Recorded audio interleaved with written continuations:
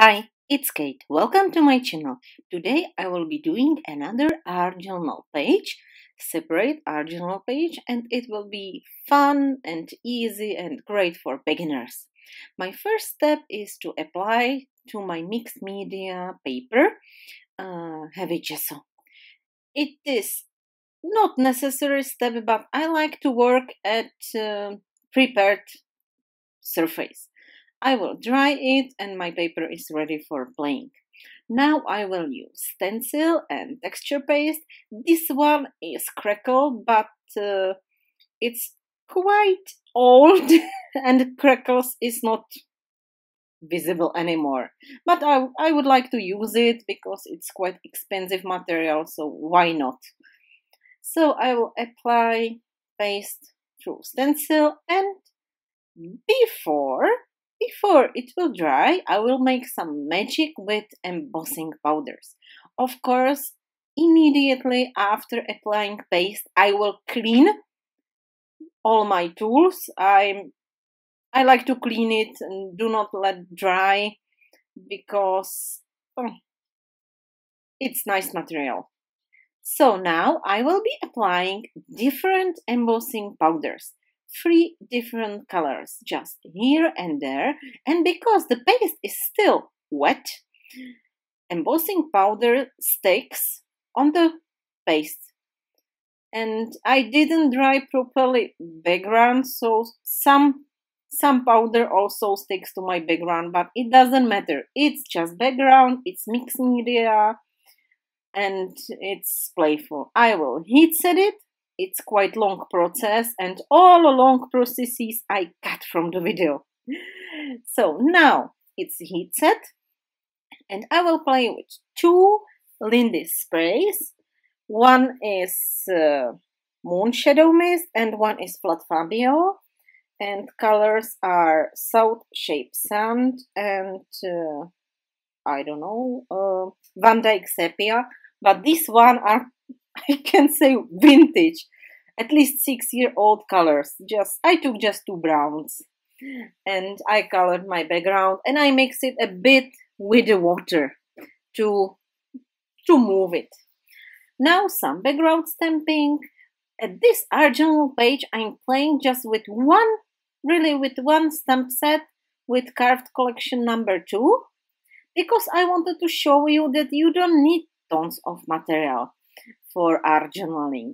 You can really use fully what you have at home, or you can buy just one stamp set if you are on a budget and still you want to use what you can afford.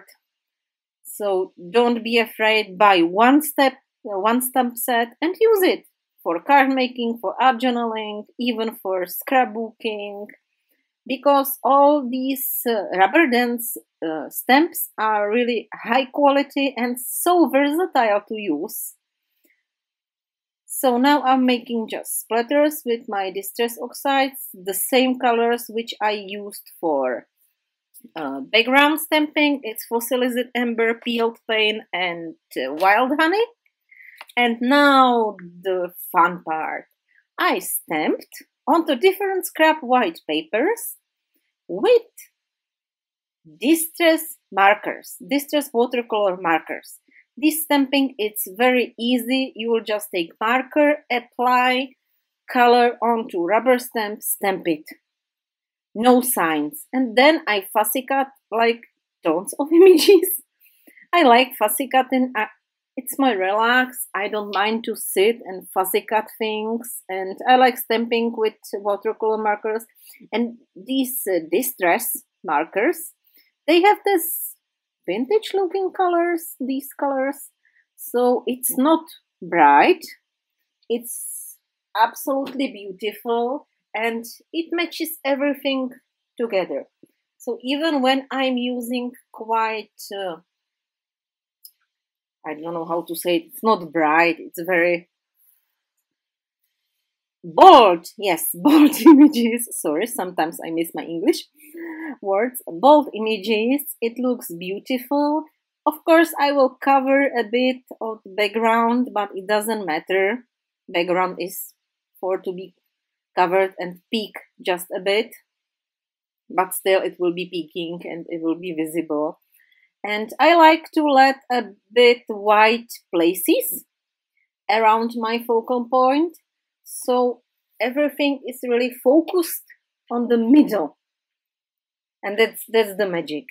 And as you can see it's absolutely easy art journaling just gluing something with uh, just uh, liquid glue some with 3d foam tape. I'm playing with separate page so i'm absolutely not worrying about the height of my of my journal page. I will put it into box with my other journal pages. I will not glue it to any journal book notebook. It will stay stay like like this. And that's all. I will finish my gluing and absolutely last step will be adding sentiment and it's uh, chipboard by Tim Holtz with uh, the word collection because I thought that it's I have collection of flowers so I use word collection. You can use anything. You can even use more images. You can mix images. You can make more background stamping. It's it's freedom in creating. So here is my sentiment. I'm gluing with just uh, glue. And here it is my final page. Thank you very much for your time. All close-up photos are at the end of the video and i wish you a nice day